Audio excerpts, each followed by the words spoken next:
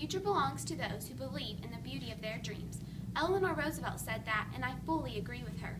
If you believe with all your might and you will not stop until you've accomplished your dream, then anything is possible.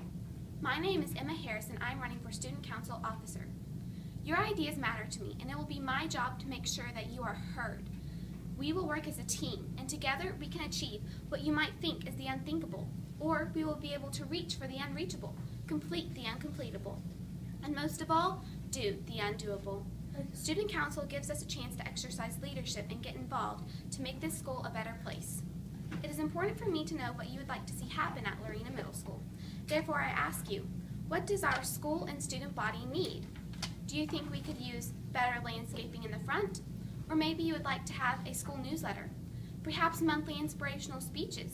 I want to hear your ideas, and together we can make this school and community a better place.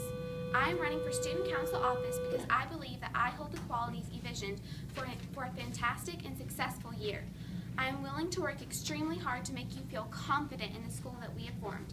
I am very organized, efficient, hardworking, creative, and persistent. I have many plans for the future of Lorena Middle School and can't wait to put them into action by being your student council officer. So let's have a great year together and never stop improving. Thank you, and vote Emma Harris for student council officer.